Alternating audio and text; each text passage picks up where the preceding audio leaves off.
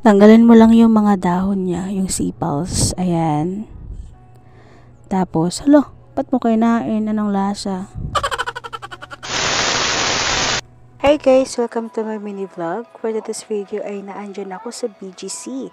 Yung BC BGC ay napakaganda talagang place dito sa Metro Manila.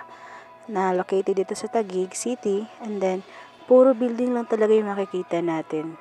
Pero dito sa bahagi ng 34th Avenue, may makikita tayong mini garden.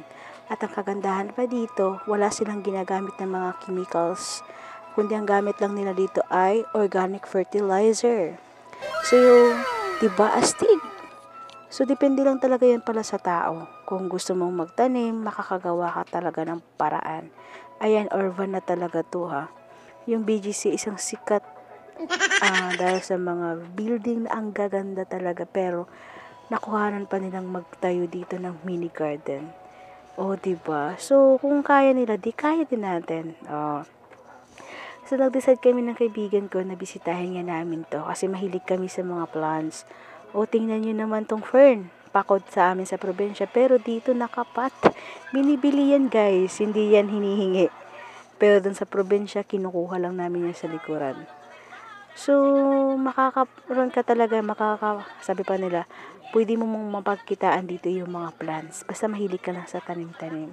Kagandahan din dito sa urban farming na located sa 34th Avenue ng BGC.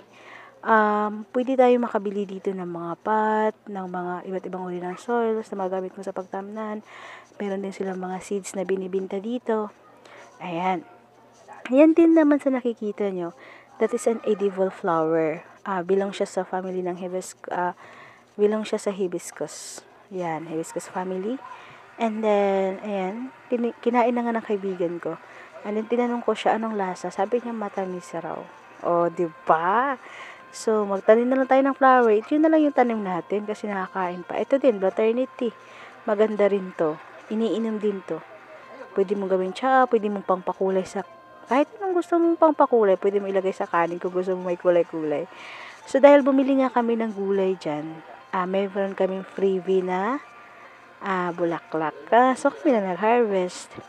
Meron din pala dito, ang, uh, yung nadat na namin dito, meron silang lettuce, kangkong, pichay, meron mga talong, meron mga mga okra, alogbatis, uh, mustasa, may kalamunggay, as in marami pang iba. Hindi ko na masabi.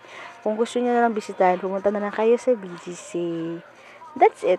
Oh, 'di ba? Thank you for watching.